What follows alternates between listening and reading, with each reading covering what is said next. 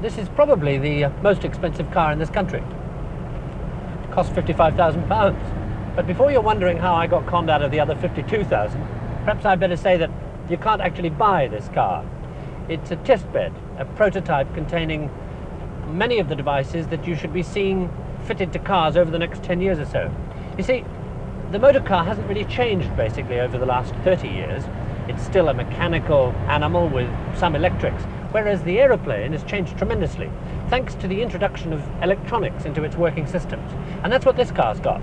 It's packed with sensors and controllers that aim to make this car, and any other built like it, more efficient, safer, easier to drive, less dirty in terms of pollution, and hopefully cheaper to run. Now the most obvious innovation is down here. This panel gives readouts when things go wrong in your car, like this. Now, as each one of these readouts comes up, it's accompanied, as you can probably hear, by a high tone that reminds you to look down and find out what's gone wrong. If I just turn this tone off, it does itself go off eventually. The system that operates this readout is amazingly simple. You simply run a wire all around the car, connect it up to the bits that you want to know about when they go wrong, and as one of these things does go wrong, it puts its own special voltage onto that wire. Back here, behind the readout, a discriminator says, ah, two volts on the wire, that means the oil pressure isn't what it ought to be, and it puts up the relevant information on this readout. Now here on the steering column is a device called Auto Cruise that ought to take the ankle ache out of motorway driving.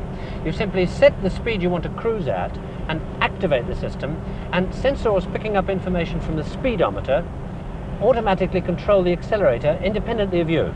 Let me show you what I mean. We're doing 60, let me set 70 on it. I'll activate it, take my foot off the accelerator, and there she goes. Up to 70. Now, as soon as you touch the brake, of course, the whole thing disengages, so it's perfectly safe. Oh, and talking about brakes, uh, something's been done to them too.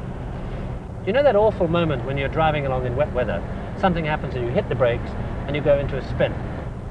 Well, that can't happen in this car because sensors know the natural speed at which a, a, wheel should slow down when you put the brakes on.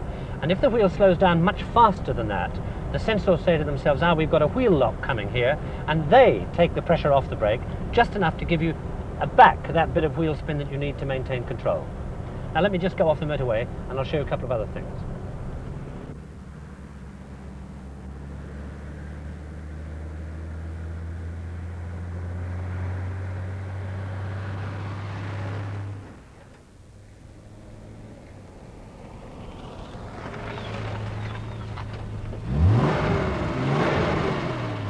You can't rev this engine above what it ought to do.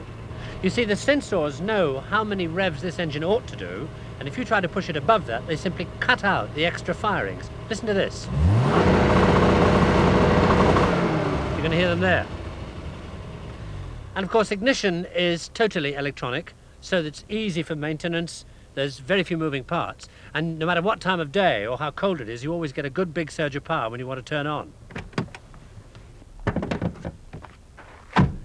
And in here, in among all those sensors I was telling you about, and there are three right there as a matter of interest, is the final refinement. This. It's a monitored petrol injection system that gives each cylinder exactly the right amount of petrol after taking into consideration the air temperature outside, the atmosphere pressure, the kind of ground you're going over, the engine temperature, the engine revs, the engine load, and several other factors. All that to give you absolutely peak performance every time.